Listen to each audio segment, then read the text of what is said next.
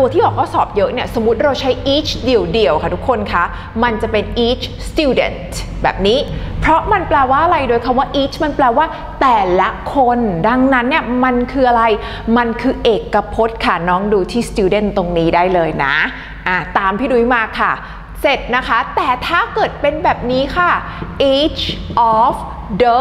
นะคะ เห็นไหมคะพอเวลาเราใส่ off เข้ามานะคะ มันจะมีลักษณะของอะไรเฉพาะเจาะจง พอเฉพาะเจาะจงสิ่งที่จะเกิดขึ้นกับชีวิตเราคืออะไร ก็คือว่าเราต้องใส่ article อย่างเงี้ย เห็นไหมใส่ the เออใส่ these ใส่ those ประมาณนี้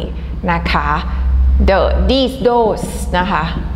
เนี่ยเหล่านี้เหล่านั้นอย่างเงี้ยค่ะนะคะ เราก็ใส่คำว่า student เข้าไป ซึ่งอขอแอบบีบนิดนึง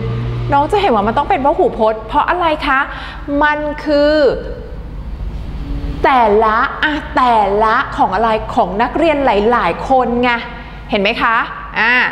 ด้านบนนะคะ each student คือนักเรียนแต่ละคนอะแต่พอด้านล่างคืออะไรคะ แต่ละของบรรดานักเรียนหลายๆคนสังเกต student เติม s นะคะ